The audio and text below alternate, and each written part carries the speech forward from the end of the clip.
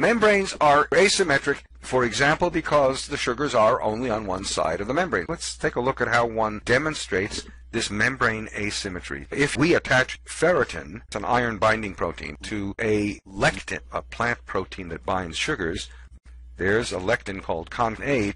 And on the other side of the concanavalin A is a sugar recognition site. So what lectins like concanavalin A can do is recognize sugars and bind to them wherever they find them.